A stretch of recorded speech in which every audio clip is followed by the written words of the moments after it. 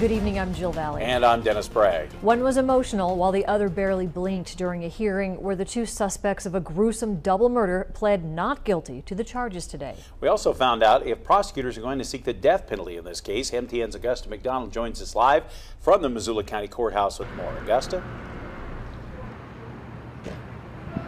All right, thanks, Jill. Dennis, yeah, 26-year-old um, Augustus Standing Rock and 23-year-old Tiffany Pierce could both face life sentences if they're convicted.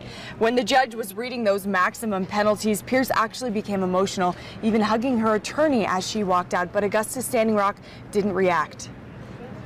Missoula County Attorney Kirsten Pabst says prosecutors do not plan to seek the death penalty for either suspect. Her reasoning stems from a U.S. Supreme Court decision that deemed Montana's death penalty unconstitutional.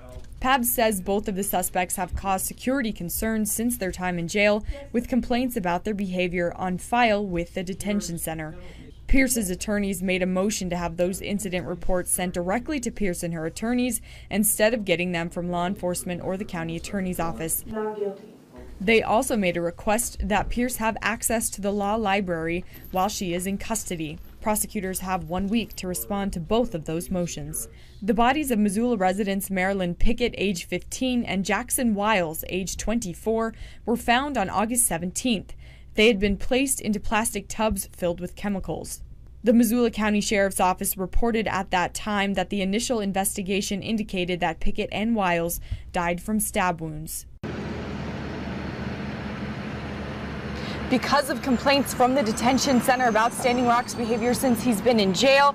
Prosecutors asked that in the future for future hearings he appear appear over video instead of in person. This is because prosecutors say that transporting him is now a security concern. However, his attorneys uh, requested that he do appear in person for future hearings because of the severity of the charges that he faces.